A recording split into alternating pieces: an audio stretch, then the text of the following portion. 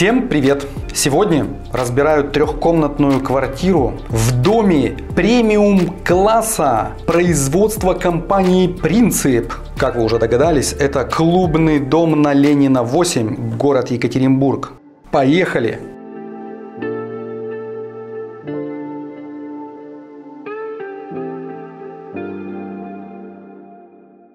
Прежде чем приступить непосредственно к разбору планировки этой квартиры, я предлагаю порассуждать на вот какую тему.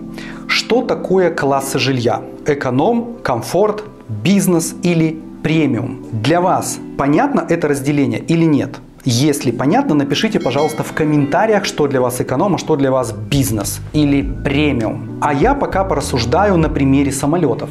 Представьте себе, что вы садитесь в самолет, на котором вам нужно куда-либо прилететь. Вот, например, я летаю эконом-класса, ну, пока не дорос еще до бизнеса. Поэтому, когда я иду в эконом-класс, я неизбежно прохожу через часть салона, которая называется бизнес. И когда я через него прохожу, мне сразу становится все понятно. В экономе три кресла в ряд, мало места перед ногами, а в бизнес-классе два кресла. То есть сидишь уже более комфортно и вольготно. Ноги есть куда вытянут, еду повкуснее приносят. А что же тогда премиум? Мне кажется, что премиум это когда ты садишься в частный самолет и хоть на кровати лежи. Вот эту разницу я понимаю. А что в планировке называть экономом, а что премиум?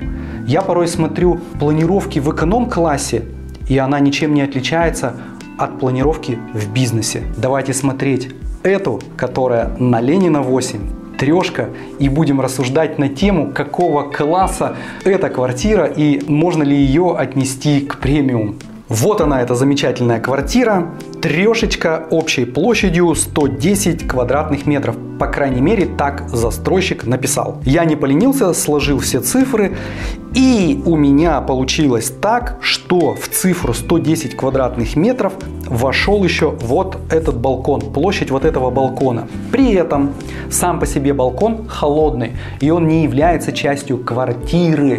Это холодный балкон. Диван вы на него не поставите, кухню не вынесете и кабинет там не устроите. Поэтому мне кажется, что не совсем справедливо эту площадь включать в общую, которую заявляет застройщик 110 квадратных метров. На самом деле площадь этой квартиры за исключением балконов составляет 106 квадратных метров, а с балконами с двумя 114 квадратных метров. Обращайте внимание, когда вы выбираете квартиру и смотрите на общие квадратные метры. Не поленитесь, посчитайте сами. В квартиру мы попадаем через прихожую. Какой должна быть прихожая в квартире премиум класса? Сдается мне как минимум такой, чтобы в четвером не пихаться локтями, когда мы снимаем одежду, то есть просторной. Позволяет ли эта квартира добиться такого результата? Мне кажется, нет, не позволяет. Очень маленький квадратик площади, буквально полтора квадратных метра, ну может быть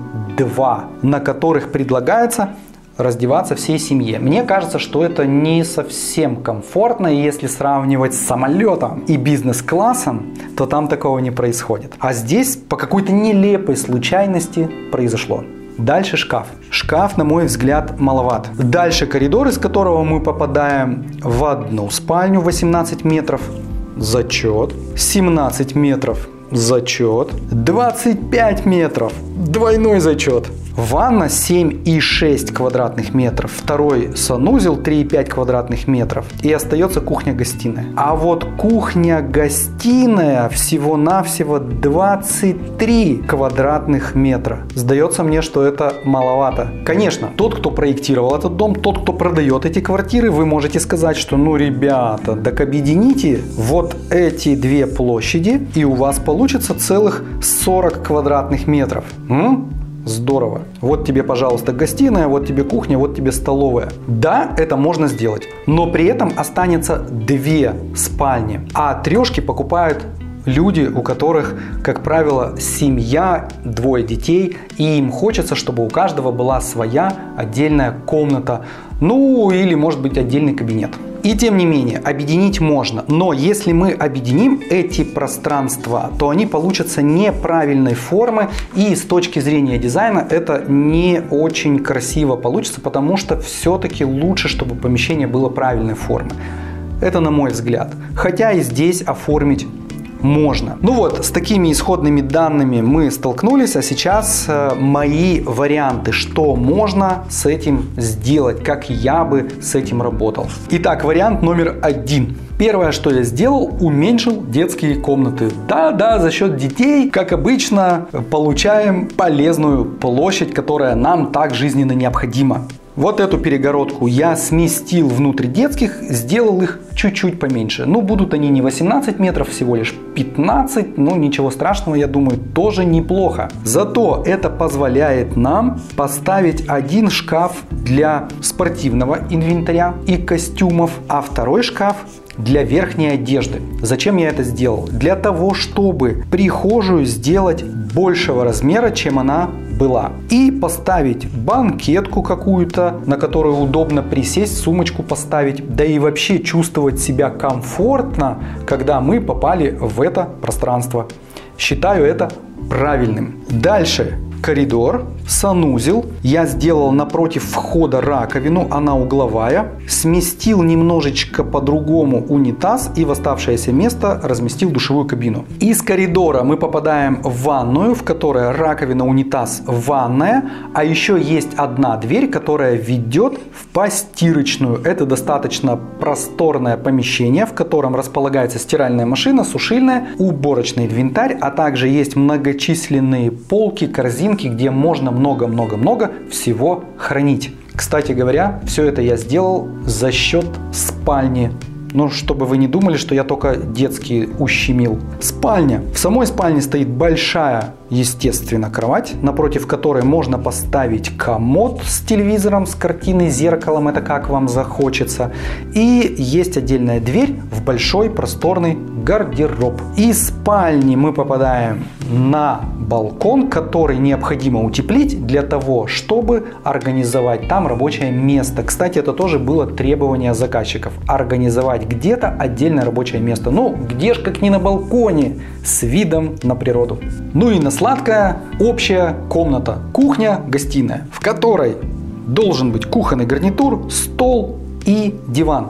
Глядя на планировку от застройщика, диву даешься, как он все разместил. Ну и действительно, влезло же. Вот он кухонный гарнитур, вот он стол, вот и диван тебе угловой, пожалуйста, как все любят. Большой угловой диван. Только у меня сразу возникает ряд вопросов. Во-первых, все это упихнули в 23 квадратных метра. Даже по этому плану видно, что маловато. Угловой диван когда мы ставим в угол, то возможности повесить штору уже нет. Просто мы заняли это место. Если мы диван подвинем к столу, то мы лишимся одного места, скорее всего. Ну или сделаем очень неудобным подход к столу и вокруг стола. Стол сам по себе здесь очень маленький, я не поленился, померил. Его ширина составляет метр двадцать. Возьмите рулеточку, отмерите на своем обеденном столе, попробуйте сесть вдвоем в эти метр двадцать, и вы поймете, что это как, ну в лучшем случае, вагон-ресторане.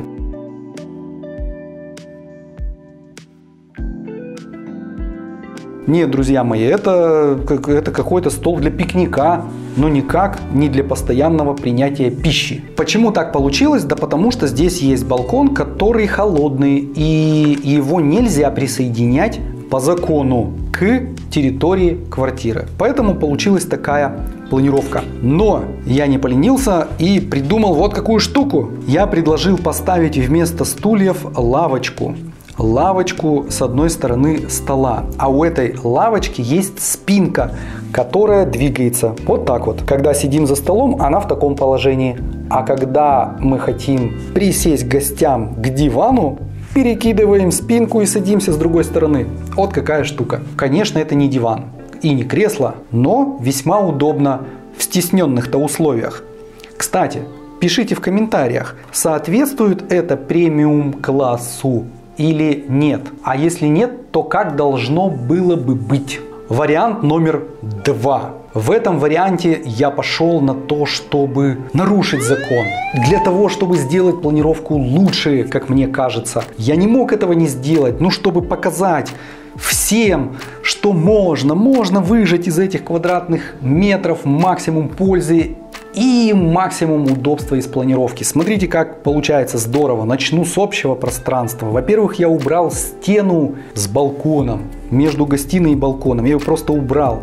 И таким образом увеличил кухню-гостиную до почти 30 квадратных метров. И, как вы видите, уже получилось гораздо лучше. Есть кухня с полуостровом, есть отдельно стоящий стол и есть диванная группа с креслами, которые можно развернуть к окошку и любоваться прекрасными видами, которые, я надеюсь, откроются перед жителями э, этого замечательного дома. Также, чтобы увеличить места хранения, я перенес вход в спальню из коридора в гостиную. А чтобы эта дверь была незаметной, можно поставить дверь Invisible фабрики Софья. Вот такая вам реклама. Бесплатная, кстати говоря. Итак, заходим в спальню. У нас двухспальная кровать, как вы уже поняли. И отдельно стоящий огромный шкаф почти на 4 метра. Точно такой же шкаф со стороны прихожей. И разместить его там удалось только благодаря тому, что я перенес входную дверь. Друзья, как вы думаете, чего здесь не хватает? Правильно, нету отдельной гардеробной и нету отдельной ванной комнаты, которые сформировали бы так называемую мастер-спальню. Здесь ее сделать не удалось. Отвечает ли это уровню премиум? Пишите в комментариях. Идем дальше и попадаем в отдельный коридорчик за отдельной дверью. Я это сделал специально, чтобы детей разделить, так сказать, со взрослыми. То есть, чтобы у них была своя обособленная, ну почти, территория. И вот они могут спокойненько ходить в ванную, к друг другу в гости, за закрытой дверью никого не беспокоить. Удобно?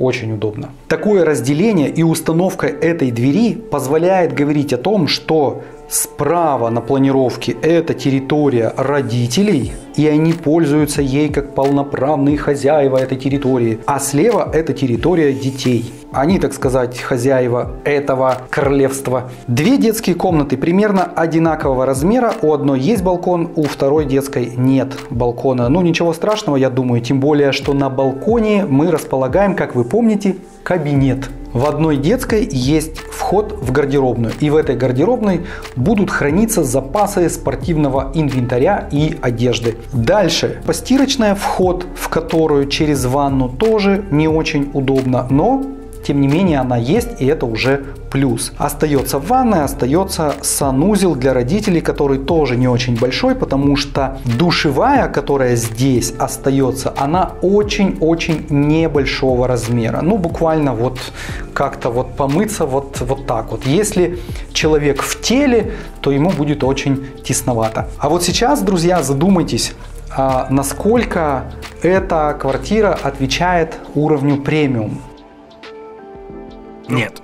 Мне кажется, отвечает, если ее покупать для двоих. Ну или максимум для троих, чтобы одна комната оставалась свободной. Во-первых, напишите, какой из этих двух вариантов вам больше понравился.